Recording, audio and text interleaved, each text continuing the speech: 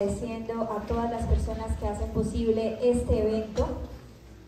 Checa de Saudade, de Antonio Carlos Llubín, Vinicius de Moraes, con el arreglo de Andrés Bermúdez.